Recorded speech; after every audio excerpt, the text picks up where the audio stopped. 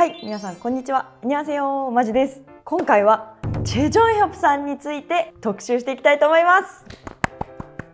はいということですね。今 TBS のドラマ「ILOVEYOU」に出演をされていてとっても日本で人気を博しているチェ・ジョンヒョプさんについて特集していきたいと思います。I love you をきっかけにチェ・ジョンヒョプさんに興味を持った、知ったっていう方、きっとたくさんいらっしゃると思います。そんな中、チェ・ジョンヒョプさんは数々の名作ドラマに出演されているんです。で皆さんにとってもかなり見やすい韓国ドラマもたくさんあるので、ぜひ最後までご覧ください。それでは早速どうぞ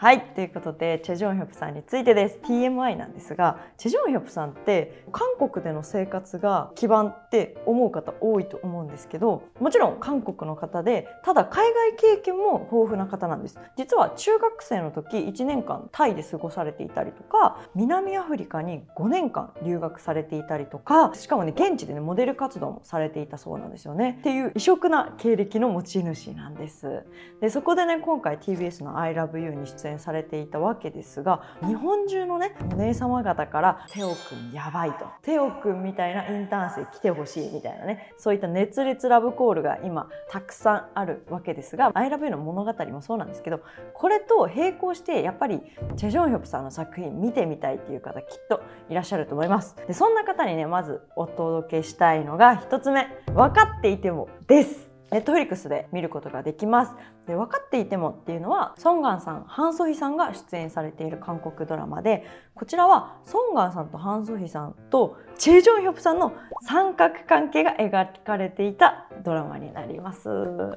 どういった話かというと美大をメインにしたお話になるんですが優柔不断でこう好きな男の子ができた時になんかちょっと騙されてみてもいいかなみたいな心の揺らつきを感じながらも騙されちゃいけないって分かっていながらもちょっとプレイボーイにね騙されちゃう。騙されちゃってついていっちゃうみたいな女の子がいてでそのプレイボーイ役がソンガさんなんですね。でついていっちゃう女の子がハンソヒさん。でその女の子の幼なじみがチェ・ジョンヒョプさんの役だったということなんですよ。これもかなりとも言えない役回りでで私は実はこの分かっていてもの時にチェ・ジョンヒョプさんの存在を知りました「ILOVEYOU」のね動画でも語らせてもらってるんですけど当時じゃがいもくんっていう愛称でみんな親しまれていてでなぜかっていうとじゃがいもを小脇に抱えた名シーンがあるからなんですよ。でそこでじゃがいもくん本当にいい人すぎるから笑顔を守りたいって言ってじゃがいもくんの笑顔を守りたいを結成したりとか いろんなことしてたんですけどなんかそういう繊細な心の動きを表すような役回りでした。なのですごくね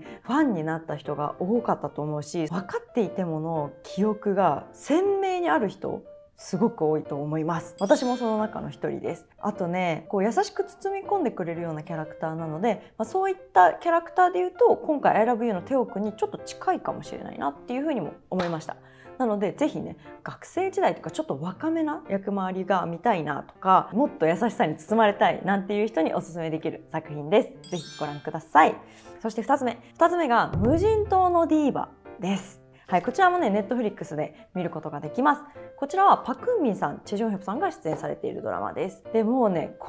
はもうっていう感じで田舎で学生時代を送っていたんですがちょっと家庭環境に問題があってそこで親友同士になった2人がいたんですけど夢を応援をしていて支えてっていうことをしていたんですが、まあ、とあることをきっかけにバラバラになってしまうんですね。でも実は遠くだったとしてもこうつながっていってみたいな話の流れです。でここでパクンビンさんが演じる主人公木波をこう支える役としてシジョンヒョプさんの役があったわけなんですがここではちょっとねクールな役回りで演技されておりました。でクールとは言ってもすごく頭が切れる役で私無人島の D を最初に見た時にキャラとしてはすごくいいキャラなんですこれをチェ・ジョンヒョプさんが演じるってなった時どう演じるんだろうっていうところがすごくワクワクしていた記憶がありますで結果的に本当に欠かせない役回りだったしパクンミンさんとのコンビっていうのもすごくよくってこのツーショットを見るためにここの無人島のディーバ見てたなって言っても過言ではないぐらい本当に引き込まれる作品です。で特に韓国ドラマあんまり見たことことないけどチェジョンヒョプさんきっかけでちょっと見てみようかなっていう人には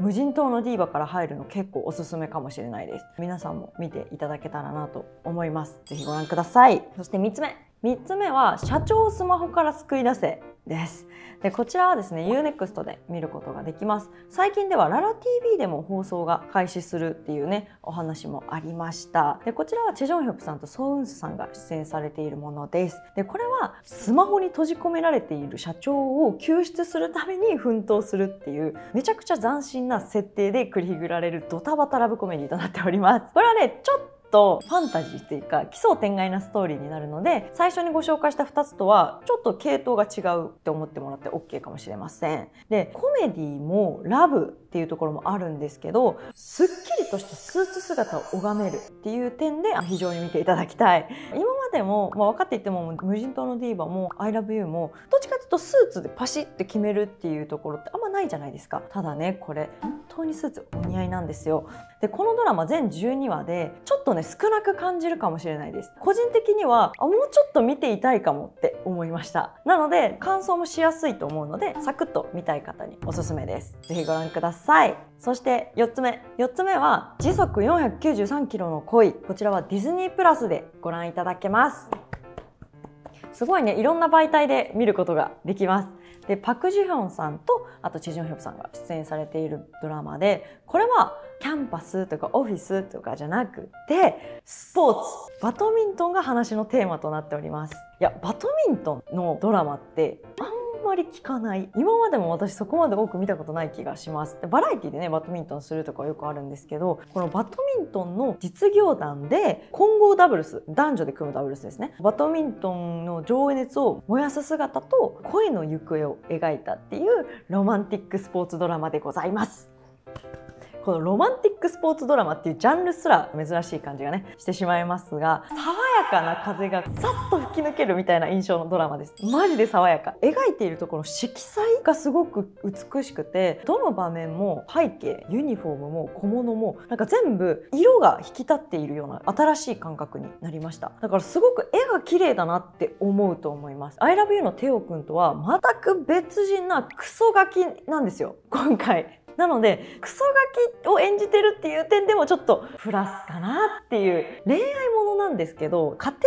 環境からの毒を抜くみたいなところも要素としては入ってくるので、まあ、そういったところもね注目ポイントになるんじゃないかなと思います。ぜひディズニープラスでご覧ください。で最後5つ目5つ目がストーブリーグです。こちらはネットフリックスで見ることができます。これ大好き。でこれはさっきバドミントンだったけどこれは野球です。スポーツ系のドラマなんですね。でナム・グンミンさんとパク・ウンビンさんが出演されているドラマで無人島のディーバであれ？ってなった方もいらっしゃると思うんですけどストーブリーグで共演してそこから無人島のディーバで再共演という形になったんです。素晴らしい。で万年最下位のプロ野球チームがオフシーズン中に野球経験ないゼネラルマネージャーを雇ったんですね。でそこから型破りな方法で優勝を目指して頑張るぞっていうドラマです。実はチェ・ジョンヒョプさんそこまで出番は多くありません。ないんですけど出てくるたびにめちゃめちゃキラッキラの笑顔と爽やかさ存在感で出てきた瞬間目を引いちゃう存在ではあります。しかもねパクンビンさんの普通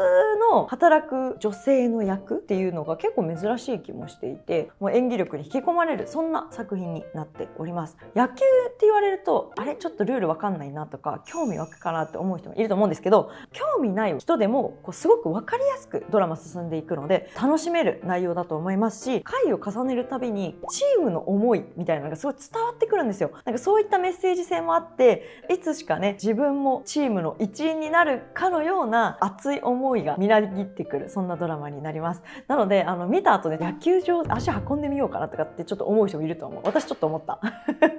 なのであのぜひね見ていただきたいなと思います。でこれねあんまりロマンスもなくストーリーに集中できる構成になってるのでそこもまたおすすめポイントです。ということでねここまで5つチェ・ジョンヒョプさんが出演されている韓国ドラマお伝えしました。これどれもねもう外れなしでもう全部面白いので皆さんぜひご覧いただけると嬉しいです。もう見たよっていう方もこれから見るよって方もぜひね感想等はコメントお待ちしております。それではまた次回お会いしましょう。高評価とチャンネル登録よろしくお願いします。そしてまた私の各種 SNS もやっておりますので遊びに来てください。それではまた次回お会いしましょう。アンニャー。